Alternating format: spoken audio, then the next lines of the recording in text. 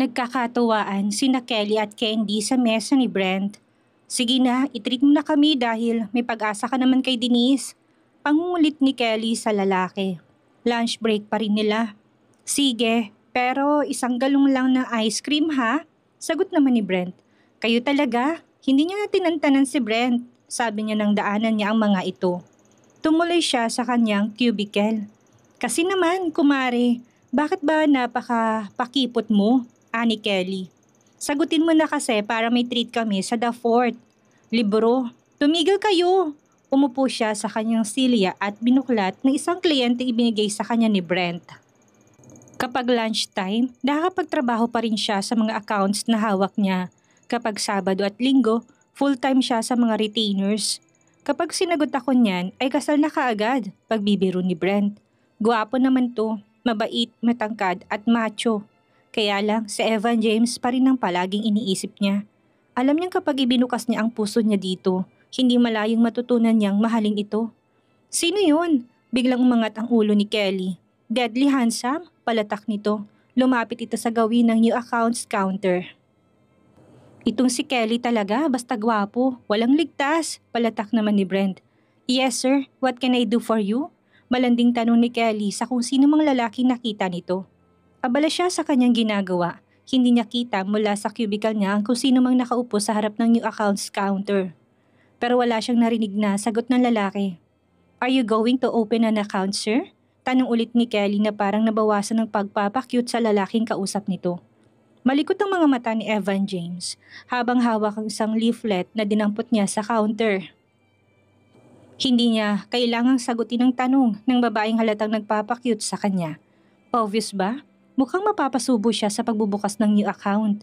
Sa new accounts counter siya dumiretso para hindi obvious na nagmamanman lang siya. Tama Sir Roldan, magmumukha siyang tanga kung basta na lang siyang susugod dito. Okay, I'll open an account kung magandang offer nyo. Muli siyang tumingin sa leaflet na hawak niya. Tinasan siya ng kilay ng babae. In case you didn't know, this is the most credible bank in the Philippines now. At bakit pa kayo pumasok dito kung doubtful pala kayo? Mukhang napahiya ito sa pagbabaliwala niya sa pagpapakyut nito. Ngunit wala siyang nakita ni Anina ni Denise. Mukhang pumalpak ang naitimbre ni Roldan. 14 anyos pa nga lang si Denise sa larawang ibinigay niya rito. Maaring malaki na nga pinagbago nito at baka nga nagkamali lang talaga si Roldan. Ngayon kung magtatanong lang siya ng pangalan ay baka lalo siyang magmukhang tanga. Nasa na ba si Carrie? Siya ang in-charge sa new accounts. Nakasimangot na sabi ng babae sa harap niya sa bigla na lang tumayo. I'm here! Mula kung saan tinas naman ng isang babaeng kamay nito. Marahil ay ito ang in-charge sa new accounts. Iba, hinihintay lang niyang bumalik ang iba pang teller sa counter. Baka nag-lunch break pa si Denise o ang sinumang kahawig nitong nakita ni Roldan. Yes sir, anything I can do for you? Magalang na sabi ng babaeng tinawag na Kari. Pumuesto ito sa harap ng counter. Nagbalik na ang iba pang teller sa counter. Ilang saglit pa, kupado na ang limang boots. Wala siyang nakitang kamukha lang ni Denise sa mga tellers. Mukhang palpak nga si Roldan. Maganda si Denise, kahit nung bata pa ito ay stunning ng kagandahan nito. Siguro lalong gumanda ito ngayon. At saka paanong nasa bangko ito? Nakapagtapos kaya ito ng pag-aaral? Baka nahirapan ito makapag-aral. Baka bumagsak lang ito sa pagiging katulong or mas masahol pa ron. Hindi na naman niya napigilang maawa sa dalaga. Saan niya hahanapin to ngayon? Sir, kung gusto niyo mag-open ng bagong account, ikailangan namin ng dalawang valid IDs at apat na one by one pictures. Kung corporate account naman, kailangan namin ng bylaws of incorporation at mga signatures ng mga incorporators. Paliwanag ng babae na nangangalang Kari. Safe by the bell siya. Okay miss, babalik na lang ako bukas dahil kulang ang requirements ko. Tumayo na siya at nginitian ng babae. Mabuti na lang at pinaalalahanan siya nito. Thank you sir. Kumunot ang noon ni Denise na marinig niyang tinig na lalaking kausap ni Kari. Tumayo siya para tiyakin ang kanyang kutob. Nine years, maring malaki ng pinagbago ng boses ni Evan James. Pero biglang may kakaibang kabang bumundol sa kanyang dibdib nang marinig niya ang boses ng lalaki. Hindi siya kaagad nakatayo dahil nasa kalagitnaan siya nagpampindot sa calculator. Sayang lang ang mahabang entries na naipasok na niya kung basta na lang siyang tatayo. Paglabas niya ng cubicle, wala nang lalaking kausap ni Kari. Sining kausap mo? Tanong niya sa kasamahan. Ewan ko rin sa lalaking yun, parang wala naman siya sa wisyo. Naligaw lang siguro. Aywan, hindi ko siya maintindihan. Hindi naman siya mukhang engot para hindi malaman ng mga requirements sa pagbubukas ng new account. Pero nakakaduda siya ha, sa paglilikot ng kanyang mga mata dito sa loob. Hindi kaya hold-upper yun? Palatak ni Kelly. Oo, baka nagmamanman siya. Timbrihan yung mga gwardya. Naalarma na to. Sus, hindi ka lang pinansin. Pinagkamalan mo ng hold-upper. Hindi naman siya mukhang hold-upper ha. Tinasa ni Candy ng kilay si Kelly. Tinawag ni Kelly isang guard. Ma'am, naka-BMW po yung lalaki. Natatawang sabi ng guard. So, porke ba naka-BMW, ay hindi na hold-upper? Natari niya sabi ni Kelly. Ayaw mapahiya. Okay ma'am, orange alert pa rin tayo, anang guard nila. Hindi pa rin humuhupa ang pagkabog sa kanyang dibdib. Ang boses ng lalaki ay parang kulog na tumama sa kanyang dibdib. Mas malakas ang impact nito kaysa sa tunog ng bass. Paano mapupunta si Evan James dito? Umiling siya at bumalik sa cubicle niya. Dapat siguro kalimutan na niya si Evan James. Nagmumukha na siyang tanga sa kakahintay sa wala. Worst, baka mabaliw pa siya. Parang bangungot ang nakaraan niyang palaging bumabalik. Hindi rin uusad ang kanyang buhay kapag ibig kong hindi niya palalayain ang kanyang puso mula sa nakaraan. Right, she must face it now. Kahit ano pang magiging konsekwensya nun, she must move on. Hindi siya maghihintay habang panahon sa lalaking nangako sa kanya, ngunit walang katiyakan kung matutupad yon. Hindi siya nag-grow bilang babae. Lumipas ang pagdadalaga niyang hindi man lang niya na-enjoy, hindi lang sa pangakong napako. Sakay na kayo, masiglang anyaya ni Brent sa kanila. Nagunahan si Kyle at Candy sa likod ng Honda Civic nito. Inalalayan siya nito palabas ng bangko. Pinagbuksan siya ng pinto at pinatong pang nito sa ulunan niya para protektahan siya sa pagpasok. Thanks, sabi niya bago nito sinarang pinto. Kung bakit kasi ayaw pang sagutin, ani Kelly. Gwapo naman at maginoo. May kabuhayan pang tao. Segunda ni Candy. Girls, tumigil na kayo at nagkakaintindihan na kami ni Denise. Saway ni Brent sa mga ito nang makasakay na siya. Bakit hindi pa kayo sweet? Bakit kailangan niyo pa ng chaperon kapag nagdi-dinner kayo? Meaning wala pang unawaan. So, kung ayaw niyo ng treat ko, edi bumaba na kayo, ani Brent. No way! Natahimik ang mga ito nang umusad na ang kotse. Nanlalaki ang mga mata ni Evan James habang nagmamasid sa bangko. Hindi siya nakontento ng isang araw kaya nagpasya siyang magmasid ulit doon at kitang-kita niyang babaeng inalalayan kanina ng matangkad na lalaki. She's lovelier than ever. God, she is at may nobyo ng kanyang Denise. Bakit ganun na lang pag-aalaga ng lalaki yun dito? Paano kung hindi lang pala nobyong lalaki kung hindi asawa na nito yon? The man looked matured and responsible. Hindi malayong umibig si Denise doon. Nasuntok niyang manibela ng BMW niya. Sa dibdib niya parang may nagrarambulan. Could you still be in love with Denise? Nine years nang wala na siyang ginawa kung hindi mag-worry. Tungkol dito, may kasamang hinanakit. Ngunit bata pa ito noon, walang magagawa kung gustong umalis ang inay nito ng villa. Kaya nababawasan ang hinanakit niya rito. Ngayon, bumalik siya at gusto niyang makita ito for so many reasons. Una, para malaman niya kung mahal pa nilang isa't isa. Pangalawa, para malaman niya kung maayos ng buhay nito. Pangatlo, kung wala pa itong ibang mahal at kung hindi na nila mahal ang isa't isa, ay dapat na nilang palayain ang mga sarili sa mga pangako nila sa isa't isa noon. But seeing her with another man was a blow to him. Pakaramdam niya pinagtataksilan siya nito. Napalunok siya, sinundan niya ang Honda Civic, ngayong alam na niya kung nasaan ito. Anong susunod na gagawin niya? Basta na lang ba siyang susugurin ito and claim her? As easy as that? But nine years was so long. Paano kung hindi na siya mahal nito at pinagtabuyan siya nito? What if ang lalaking yun ang mahal nito? There was a tender that he could not explain that tracked him inside. Ego, pride. He was going insane. Mag-aparisyon na lang ba siya basta sa harap nito? No other way. Masayang masaya ang house blessing ni Denise na kompleto rin niya ang mga kagamitan sa kondo. Nilang mag-ina, hindi na rin mainip ang inay niya dahil may cable TV na sila. Inay Delia, malapit na kayo magkamanugang, nangungulit si Kelly sa kanyang inay sa kusina. Talaga? Natutuwa naman ang inay niya. Opo, kaya lang medyo mahinang ating manok, dagdag ni Kelly.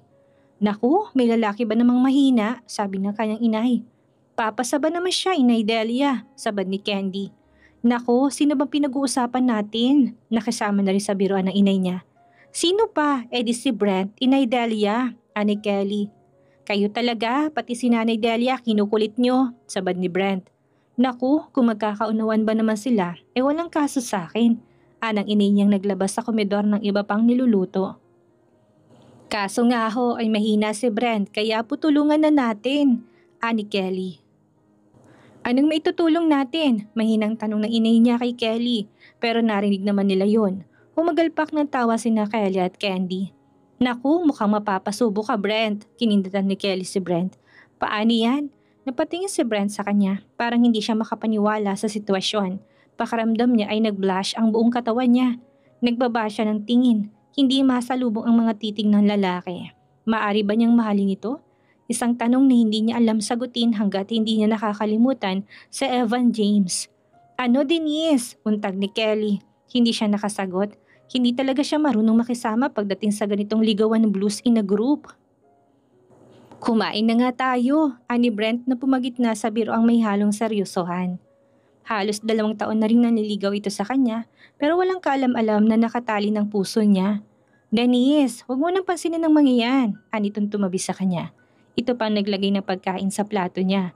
Super bait talaga ito. Kung ako lang ang niligawan mo, eh di may apo ng nanay ko. Pagbibiro ni Kelly. Kaso, hindi ka type ni Brent. Pinandilatan to ni Candy. Kumain na kayo. Yun lang ang lumabas mula sa bibig niya. Pagkatapos nilang kumain, ay tumuloy sa salang mga kaibigan niya. Binuksan ni Kelly ang DVD at binirahan ito ng kanta. Binukas naman niya ang sliding door ng terrace. Pumasok ang malakas na hangin sa sala. Sinundan siya ni Brent sa terrace. Nagbuntong hininga to. May problema ba sa panliligaw ka, Denise? Formal na tanong nito. Hindi ko alam kung dapat mong malaman, but soon, I'll tell you why I'm reluctant to respond you. Aniya rito. Siguro nga ay tama ang kasabihang namamatay ang pag-ibig na hindi nadidiligan at naalagaan. Baka hindi na siya mahal ni Evan James kaya pinabayaan na lang siya nito.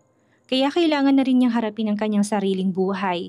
Dapat ding malaman ni Brent ang lahat bago niya sagutin to. If you can tell it to me here, let's go somewhere else tomorrow. Aniyaya nito. Okay, sagot niya. Kailangan na niyang pakawalan na nakadagan sa kanyang dibdib. Baka sakaling mabawasan yun, iyon ang alam niyang dahilan kung bakit hindi siya umuusad pagdating sa mga personal na bagay sa buhay niya. She must unleash her doubts about the past and Brent was a gentleman who she knew would understand her. They lack eyes. Okay tomorrow, pag-uusapan natin to. Alam ko, dapat mo ring malaman to dahil malaki ang kinalaman nito sa hindi ko pagsagot sa matagal mo nang iniluluhog. Kung pagkatapos nito hindi mo na ako liligawan ay matatanggap ko naman. Denise, hindi mahalaga sa akin kung ano pang nakaraan mo. Your love and the future are what matter most. Tumango siya. Salamat at napaka maunawain mo. Alam mo, swerte ang kahit sinong babaeng mamahalin mo. And what took you so long to answer me?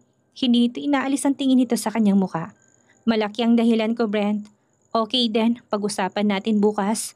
Ginagap nito ang palad niya. She did not really know how love was. Matagal na noong nakadama siya ng kilig.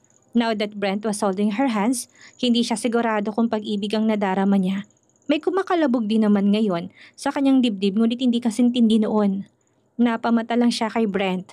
Tomorrow, she would tell him everything. Nagwawala sa galit sa Evan James. Palagi na lang niya nakikitang magkasama sa Denise at ang lalaking yon. Ngayon ay dalawa na lang ang mga itong sumakay sa Honda Civic. Malapit na niya sugurin ang mga ito. Ngunit lalaki siya at may inaalagaan siyang pride. Kung susugod siya sa mga ito'y magmumukha siyang katawa-tawa, kailangan niyang mag-isip ng ibang paraan kung paano sila magkikita ni Denise. She looked well educated at dahil hindi niya ito nakita sa teller booth, ibig sabihin hindi to teller. Baka may katungkulan ito sa bangko. Iyon ang gusto niyang malaman. Tinawagan na niya si Roldan. At nalaman na rin niyang sa isang condo unit to nakatira, meaning she was successful now. Hindi basta ordinaryong empleyado. Masaya siya dahil may narating na ito. But he was damn, damn stupid kung hayaan niya palagi nakakbay ang sinumang lalaki dito. He could not bear watching her and that man while they look sweet. Nagpasya siyang sundan ng mga ito kahit saan magpunta ang mga ito. At kapag nalaman niyang may nagaganap na kakaiba sa pagitan ng mga to, hindi niya alam kung anong magagawa niya. Denise, what's bothering you? Ginagap ni Brent ang palad niya. Listen Brent, nine years ago ay na-in love ako. We made a vow to love each other forever. Wala kaming formal breakup kaya hanggang ngayon ay umaasa ako makikita pa rin kami at matutupad ang mga pangarap namin. Yun ang malaking problema ko. Hindi ko alam kung maghihintay pa ako at kung mahal ko pa rin siya. Siya kang rumihistro sa mukha nito. Ngunit unti-unting nawala yon. Kaya hindi ka na nag-entertain ng maliligaw mula noon? Tanong nito. I was stupid, maybe. Pero paano kung mahal ko pa rin siya hanggang ngayon? I want to see him. Baka sakaling masagot ang mga katanungan ko. Mahinang sabi niya. You know what? Kaya mahal kita is because you're serious. Napakaswerte ng lalaki yun at hanggang ngayon ay faithful ka pa rin sa kanya. Pero hindi ako nawawala ng pag-asa kung sakali mang magkita kahit malaman mong hindi mo na pala siya mahal. Nandito lang ako. Naghihintay. Madamdami sabi nito at ginagapulit ang palad niya. I want to get out of the promise pero hindi ko alam Brent. Pakaramdam ko'y magkikita pa kami't naghihintay lang na matupad ang mga pangako namin. But promises are made to be broken. Don't you forget that? Nakangiting sabi nito. I know, but what if naghihintay pa rin siya hanggang ngayon? We were in love at naghiwalay kami nagmamahalan. Walang may kasalanan sa paghihiwalay namin. Kagagawa niyo ng kanyang mama. I really admire you. Pumormal ito, nakalarawan sa mukha nitong panghihinayang. He's lucky, really. Ngunit kailangan bang itali sa kanyang puso mo habang buhay? Paano kung hindi na kayo magkita pa? Hindi nang iniisip ko noon pa. She looked down. Naintindihan kita, pero buksan mo puso mo, Denise. Hindi rin kita mamadaliin sa pagsagot sa akin. But give me hope, kung pwede. Ikaw ang pinakamalapit na kaibigang lalaki sa akin, Brent. Sagot niya. Good enough. Ano nang gagawin mo? Tanong nito. I don't know. Maybe I have to open my heart again. Lalong lumuwang ang ngiti nito. Dinala nito sa mga labi ang kanyang kamay. Maginoo naman talaga to at alam niya kapag sinubukan niya mahalin ito ay hindi siya mahihirapan. Pagkatapos nilang kumain ay nihatid na siya nito.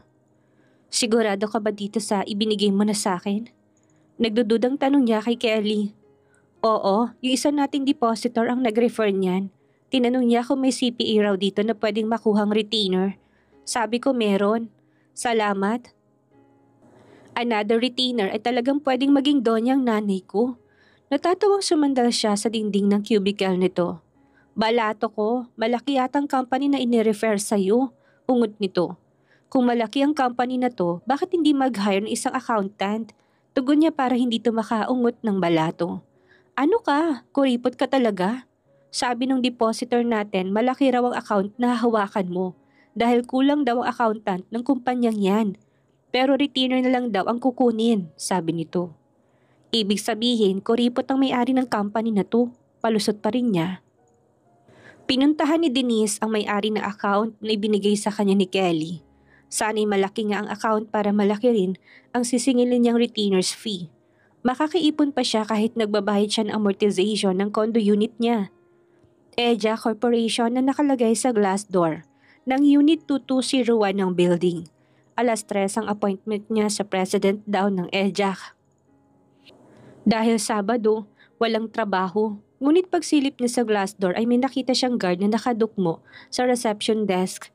May meeting ako sa president ng EJAC Corp, ani rito. Natigilan siya dahil ngayon lang niya naalalang walang pangalang binigay sa kanya si Kelly. Kayo yung accountant na hinihintay ni sir? Ako nga, sagot niya. Giniya siya nito papasok sa maaliwalas na opisina. Nakakalula ang laki ng opisina. Ibig sabihin, malaking kumpanya to. Huminto sila sa harap ng malaking wooden door na may nakaukit na Executive Office. Kinakabahan siya kung ganito kalaki ang kumpanya, bakit pa kukuha to ng retainer kung kaya naman itong mag-hire ng full-time CPA? Come in, Miss Retotar.